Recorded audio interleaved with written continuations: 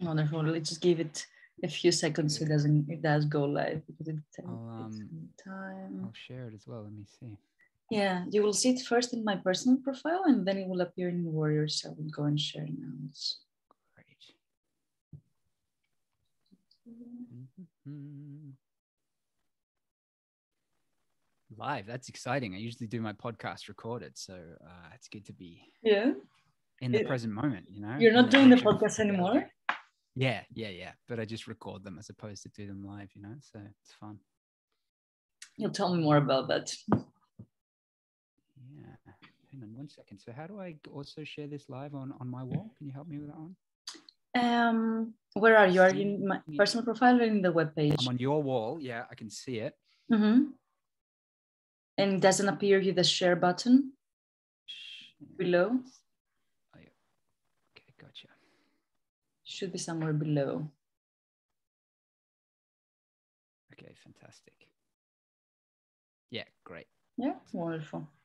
Okay, so thank you for for coming today, and thank you for Mhm. taking a little bit longer day so we can adjust our schedules with the time zones. That's very kind of you, actually. Mm. So, what? How I came across you? There was a friend, uh, I think it was Dylan, who Mhm. posted um, a, a blog of yours, which is called "The Mapping the Progressive Counterculture at Respective Typology." Mhm. And I have to admit that by now, like few times, I have the ability to go through a whole blog. Usually, like this, like look a little bit of what it is, and then at some point, my attention is drifted so towards something else. But somehow, it did, it did feel like going through the majority of it, like fast reading, and then seeing the types. So you will tell me more about that. But before we go there, before we go into into your work, I would like to know a little bit more of who is Joe right now? Like, who is this person that I'm, I'm having in front of me? For whatever you feel like expression, it can be personal, it can be professional, it can be anything that is coming through.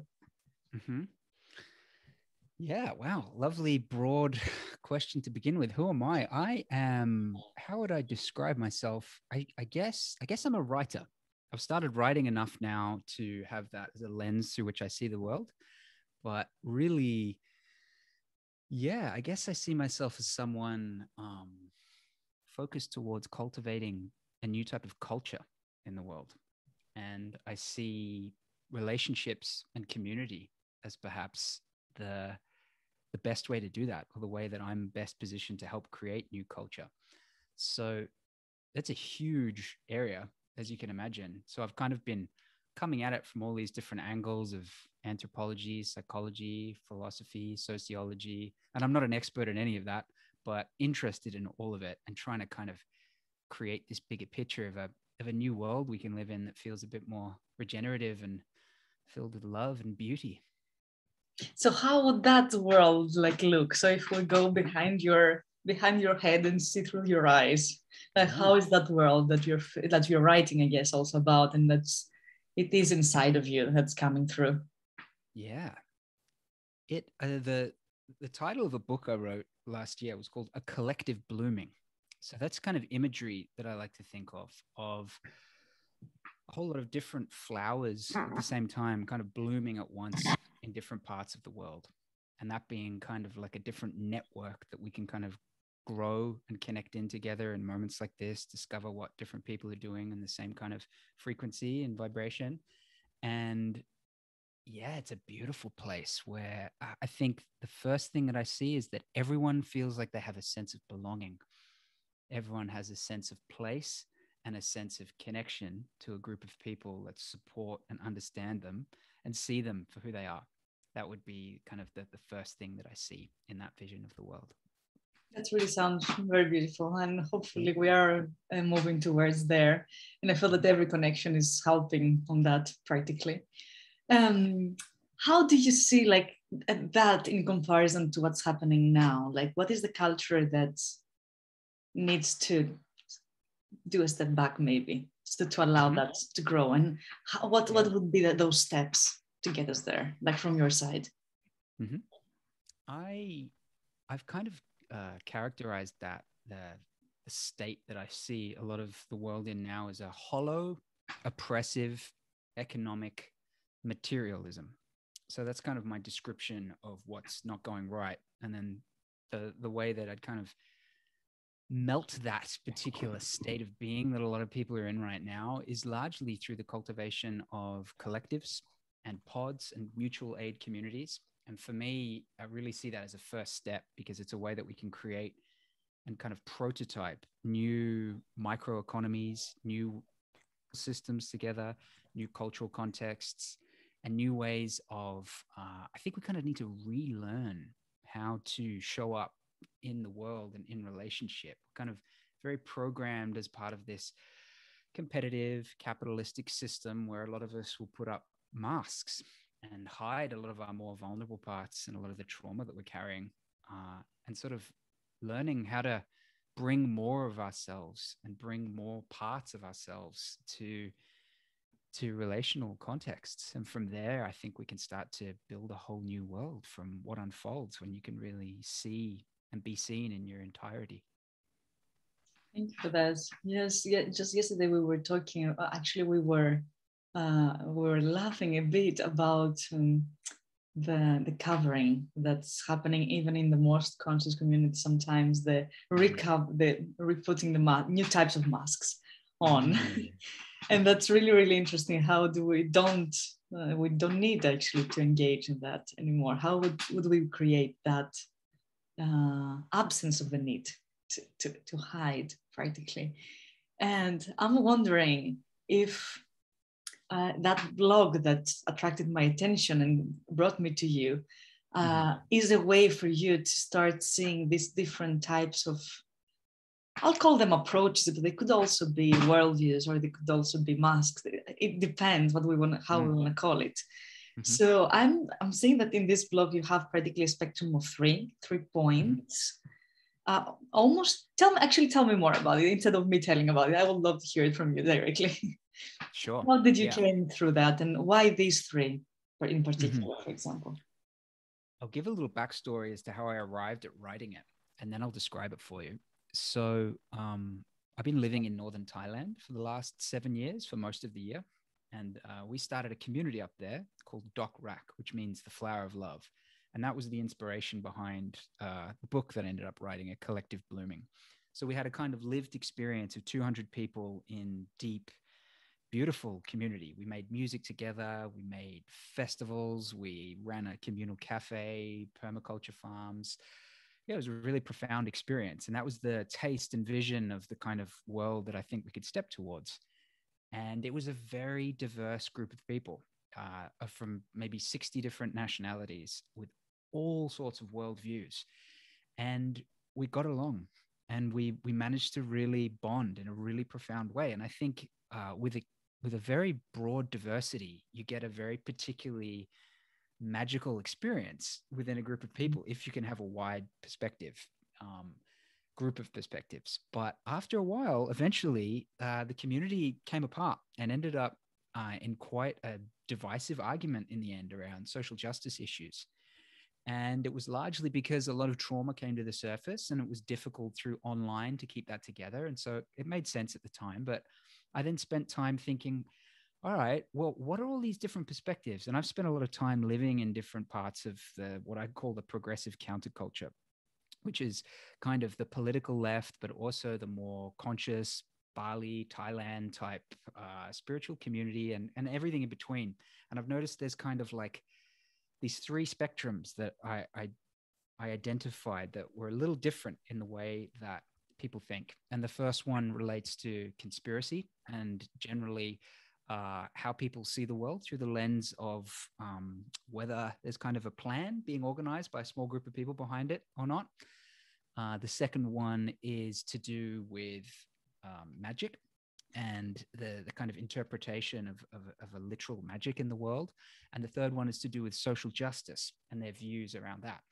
And the, the idea is not to, it, it's, it's not to suggest that any one worldview is better than the other, but just to provide a spectrum and say, hey, here, here are all the colors we're playing with.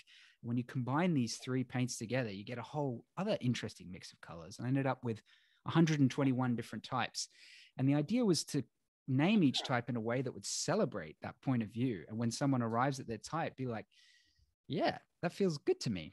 and then from that point maybe start to understand all right what are these differences and how can we harmonize together and still form change making collectives and communities while you know respecting these different points of view so from your point of view, um, it would be it's it's really interesting in the community to have different different flavors, different of those 120 flavors, right? I'm, I, I was observing and I had to I had to smile when I was seeing that that I see that you have in each one of the three categories you have five points and the mm-hmm. fifth is never really described mm-hmm. which I was like, well, that's really interesting. I'm, I'm guessing he's doing it on purpose. I'm wondering how would, did that happen and what is the thinking behind it? Uh, what's going on with the fives? Yeah, it, that's more laziness than anything else, to be honest with you. Really, the five is defined by what is above it in these spectrums. So if you're reading it, it's um, anything that's kind of above it. So there's nothing, uh, yeah, hidden in those ideas, but maybe they have other ideas that aren't included, but it's kind of defined by what it isn't, the one and the five, if you know what I mean. So I might expand the whole thing and, but that would that would be a whole nother book. I mean, I got so into this uh, little system, but I had to kind of draw a line in the sand and be like, whoa, that's going to take a lot of work to flesh out all the different types. But I think I got it to a point where it's workable, and actually it's been amazing to see people's feedback from it. It's it's really been quite accurate in describing different worldviews and different perspectives because it only takes a few minutes to find out where you are. And it's a difficult thing to do. I wonder whether you had did you have any reactions to it where you were kind of like oh maybe i'd change that or i didn't like that because most people kind of find little parts of it a little difficult. And um, that's interesting to me so I think that we are in a time that we are questioning almost everything anyway. So I have I have been saying that sometimes even if something fits you, you will start questioning it just for questioning it. so I have to admit that I usually like this. Um, I like to see myself through different frameworks, to, to, to, say it like that. So it was really fun actually to, to read through them. And from my side, my profile, let's say, would be the truth seeker, social progressive mystic. And mm. it does mm. feel like very much like that. Uh, it was pretty clear. Like I was like one, two, three, no, not that, this one. So it was it was quite fast, and that's what I actually really liked. Uh, that there was not so much of the theory. Sometimes I know that also, and that's very an interesting point that might be added at some point uh, I have also observed that some people are more in, like to be more intuitive. Some people like to be more analytic. For example, I am the ones that like to be more intuitive. So I like when I see something that it talks to me directly without having to read a whole book about it, a mm, whole, yes. a whole manual about it. Um, so it worked really like that for me. Uh, the most interesting it for me was to see I could almost like feel the interest of researching human archetype, different human archetypes behind it from your side. And that's why I contacted you, because there are mm-hmm. sometimes that a text triggers you to get to know the author, and sometimes that is just interesting, but it doesn't trigger you to get, get to know the person. So I was like, okay, I'm wondering who is Joe and who, who where is, is he in his who life? Who is this right strange now? person that cooked up this typing system? And here I am. so tell me, so the book that you said was written after the experience in the community. When, when was that, more or less, like in, in the timeline? Yeah, uh, it was from about 2016 to just last year, 2015. Ooh. So yeah, recent. So I was writing the book throughout the community the whole time. It took me four years to write the book, but uh, yeah. So recent. How long was the community experience? That specific specific community uh, experience? Six six years all up. Wow, pretty much. I would love to hear your opinion about that because I, I have mm. been in different types of communities. We have also created one I mm. trial by ourselves. And there are some things that I, I just keep observing. So I would love to hear more about um, what you believe that could be um, reapplied because I, I, if I understood well, this community is not, it's not continuing right now, right? Correct so from what you experienced and what you will see as this new type of collective what do you feel that could be reapplied in new models and what do you think it's time for us to let it go so we can go further yeah yeah that's a great question I obviously there's a lot. Let me let me condense to the the key areas. Essentially, I was very optimistic and quite drunk on a vision when I started that community of what was possible. And now I feel a little bit more realistically educated around the limits of human psychology and the general level of trauma that we're all carrying right now. So for me, it was very much a political, socio-economic vision of a whole lot of collectives, you know, changing the world in a new culture. But now I think we we need to still do that, but a little bit more humbly, slow down a little bit, and focus a little bit more on the internal personal development and psychological integration work. So becoming more aware of our shadows and our patterns. And the next collective that I'm going to create is going to be exclusively focused on that and have that as the beginning process of bonding and trust building and growing. And it's a way also to see whether people are ready to kind of play at that level. Because if they can reveal themselves and then hold other people and then hold steady in that, then they seem to be ready to kind of be a part of what these communities are because they're yeah they're really powerful you've got to have a lot of trust in each and faith in each other that you can kind of be there through some difficult challenges so yeah kind of a pivot towards inner work and uh yeah i'm writing a, an, another book which i think i might just release as a long series of articles actually called becoming communal creatures which is going to be all the different areas and badges that uh, i think we need to work on to be ready to really show up in community. Mm, yeah, thank you for this. I think I really resonate with a lot of what you're sharing, and I kind of feel that there was a lot, there was a big movement tapping into the idea, but it was more like a, um, an enthusiastic way of approaching it, and maybe a little bit overestimating uh, the, how much we have grown towards the new this new culture sometimes and, and I see many communities also going back into the more like inner work now to be able to start from a more correct, like a, a different base, let's say somehow. Mm. Um, so you're now in Australia. Um, I have to admit uh, that I don't know much of what how is the movement in Australia. So I would love to hear a little bit more of that part of the world because I don't have so much connect. I have so much more with Europe and Northern America for reasons that are not to me to decide. But I don't know what's happening in Southeast Asia and mostly in Australia. So how it is this, as you call it, counterculture uh, growing in that part of the world?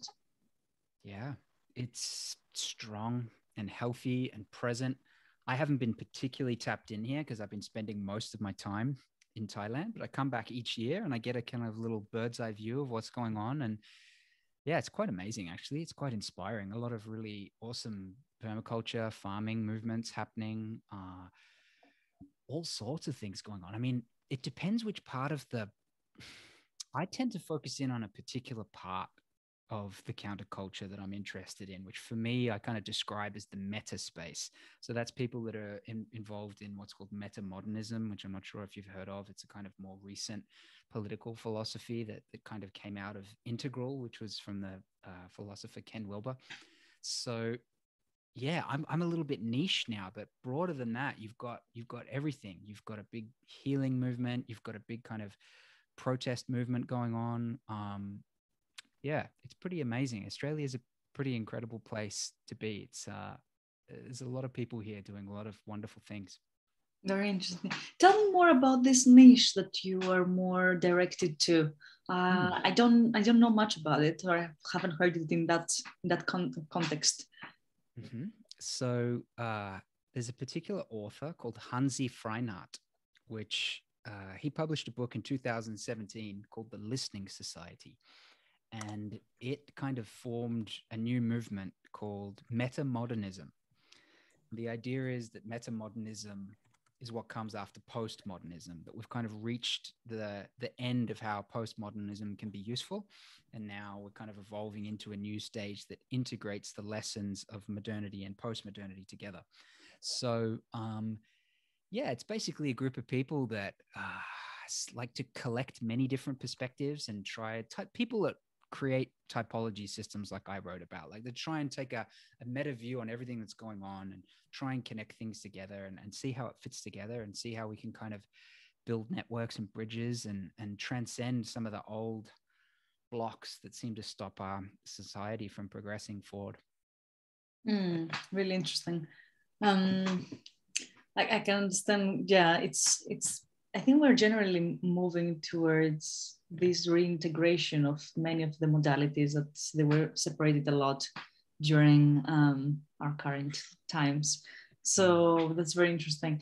So right now, in your own um, um, everyday life, let's say, what is more present? The book is already published. I saw. I'm seeing that in your in your website. And where are you more focused? Like, what is keeping you more um, inspired right now? Two things. One of them is a series of articles that I just finished today, a five part series that I've been putting all of my heart and soul and energy into. And that is called Before Priests, Kings, and Bosses. And that's an exploration of hunter gatherer culture and the lessons that we really can learn from their way of being. And then that finishes with this uh, neo tribal declaration. So, neo tribalism is this idea that really excites me of how can we blend the lessons from then with the modern world. So, I've just given all of myself to that for the last couple of months. Uh, and then the other thing I'm working on is, yeah, my own my own health, my own shadow work, my own integration, and, and watching the unconscious patterns that keep driving me in directions that maybe I don't want to and, and kind of just pulling that back. We've been in a lot of lockdown here in Australia. So it's been a really good time to just, yeah, reflect. And after watching the community that I was part of fall apart, I saw, oh, okay, yeah, I had my own, my own part, my own psychology was involved in that as well. So yeah, really learning about uh, relaxation and self hypnosis. And yeah, I've been on that journey for a long time, but it just keeps getting more and more interesting. But yeah, healing.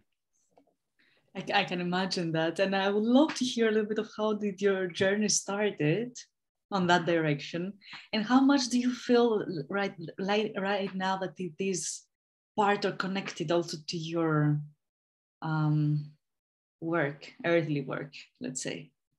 So yeah, for me, it's always like nice to say where how much somebody has been uh, wanting or trying or achieving to integrate it into the action. mm. Yeah. Well, I am grateful to say that everything feels like it fits together really nicely. I feel like the healing that I feel I need to do, I was uh, diagnosed with chronic fatigue syndrome when I was 17. So I've been on a pretty epic healing journey ever since. And that's what kind of sent me down the spiritual path in my 20s as well. So for a while there, they were two different roads. There was a bit like, you know, how do I change the world and create entrepreneurial, change making communities? And then how do I, you know, work on myself? But just lately, I really see how they're, they're coming together. And that's, uh, that's actually really beautiful that I can see that slowing down and embodying the kind of energy that I'm aiming towards is really the quickest way to get us there as a, as a culture as well. So, yeah, that, that penny has slowly been dropping, but I still have these moments of, you know, older patterns coming through, intergenerational trauma, and all sorts of weird and wonderful emanations from the, you know, collective unconscious coming up as well. So, keeps me on my toes.